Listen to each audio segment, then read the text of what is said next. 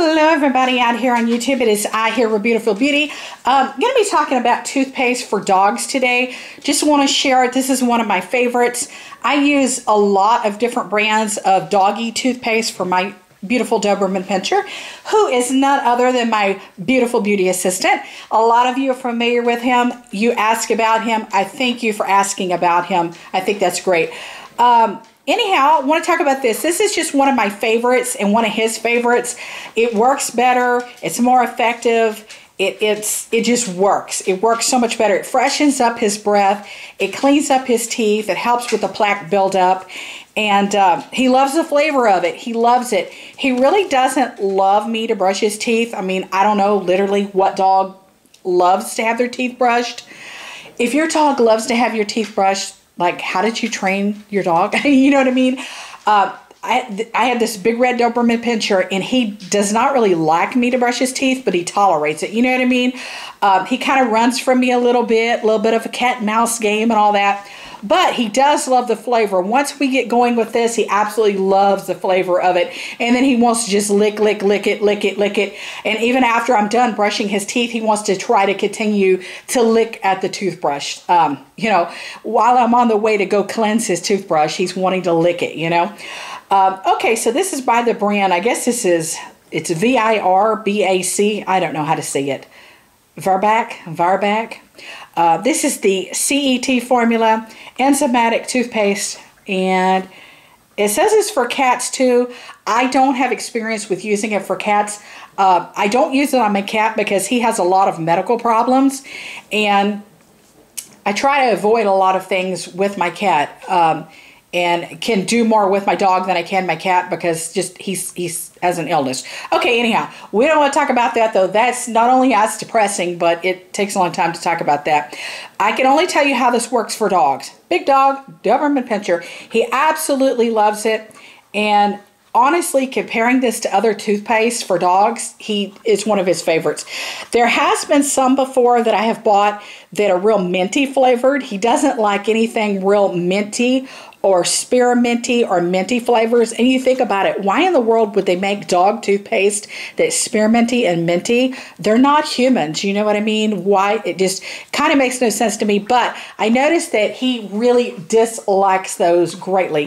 He loves this flavor. This is the beef flavor. I rebuy it all the time. I repurchase it all the time. Sometimes the tube will expire, go old, and then when it gets to the expiration date, I will toss it and buy more. Um, I believe I buy it like at PetFlow, Chewy.com, places like that. So it's pretty readily available. I will link it up at the down, down bar below. I want to show you the box real quick because I want to show you the ingredients. So I, I want you to know what you're getting. Can we see any of that? Literally? Seriously? No, wait a minute. That's not even English. okay, let's see. Let's try the other side. Okay, can you see? My cat's eating in the background, you guys. That's not me munching. Uh, that's not me crunching. Actually, you will hear uh, my cat's eating. He's loud. He, like I said, he has medical problems, so he's super loud eater. You'll hear him eating and gulping in the background. He's a few feet away from me.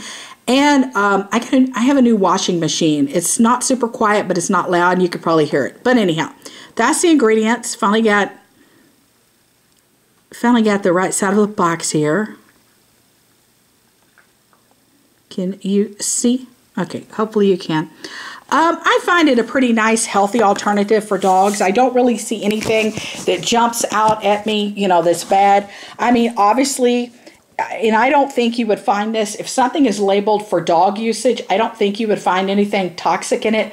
You know, like uh, xylitol is toxic. Keep the human toothpaste away from dogs, you guys. Keep it away from dogs and pets because the xylitol is very toxic to dogs and probably toxicity to cats as well. Keep it away from your pets.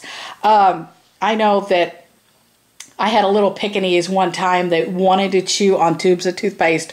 Literally, she wanted to do that. But anyhow, um, so keep the xylitol away from dogs. Keep the human ingredients away from dogs.